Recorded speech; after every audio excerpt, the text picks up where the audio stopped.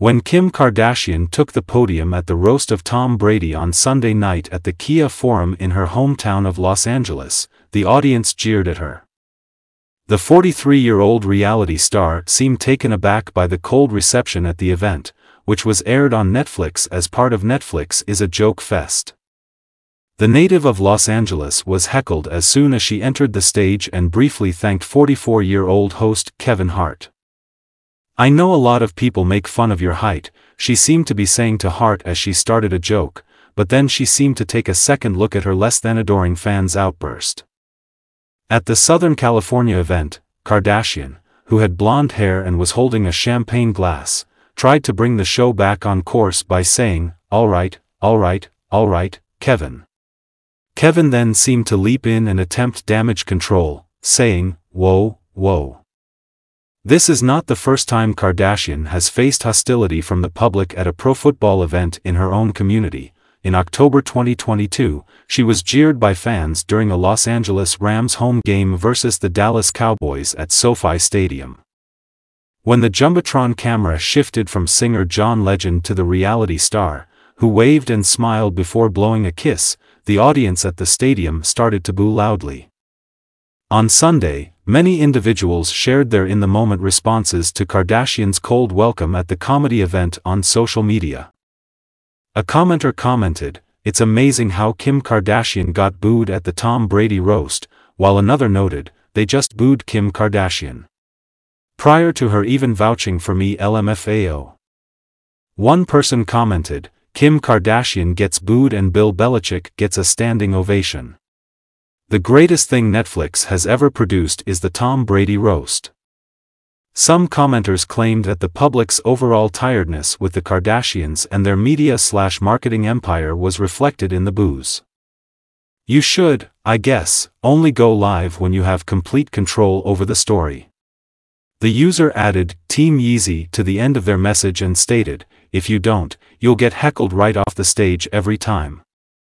We keep trying to tell the powers that be that we don't want that family in our spaces, one person commented. Nevertheless, they insist on shoving them in our faces. Several people discussed the awkward dynamic that resulted from the reality star's jeers during the live show. One person wrote, Holy shit, half the crowd at the Tom Brady roast just booed Kim Kardashian so badly that she had to stop and admit it.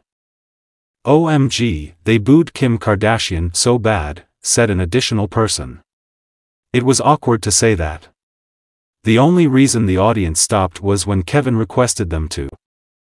The Judgment Day, the Public Enemies podcast likened the jeers to those directed towards the villainous pro wrestling faction. The audience when Kim Kardashian took the stage to begin criticizing Tom Brady. During her performance, Kardashian made references to earlier reports that she and Brady were dating after they met at a July 4th celebration in the Hamptons last summer. I'm truly here for Tom tonight, Kardashian, who has dated NFL stars like Miles Austin and Reggie Bush in the past, stated. I wasn't planning to come tonight, but there's a good chance I might since I'm not here as Tom's date. An allusion to Caitlyn Jenner, who was once married to Kardashian's mother Kris Jenner, was also included in the set. I am aware that it would not have succeeded, Kardashian remarked. Your high cheekbones, silky hair, and ex-athlete status make you too similar to my stepdad right now. There's a part of me that believes you would want to trust me just to try on my clothes, she continued. Although I know it must have been somewhat difficult to leave the NFL, I believe my stepdad is a fantastic role model for you. Point one of the greatest athletes in the world. She demonstrated that anything is possible for you to do in this new phase of your life. You can pursue careers as a pundit, far-right Republican, or even as a self-assured, strong woman. To conclude her act, Kardashian mentioned her late father Robert Kardashian's involvement with the late O.J. Simpson's dream team of lawyers. To be honest, I find it difficult to see people make fun of you, Kim remarked. But enough, I believe, to have my family members stand up for ex-football players.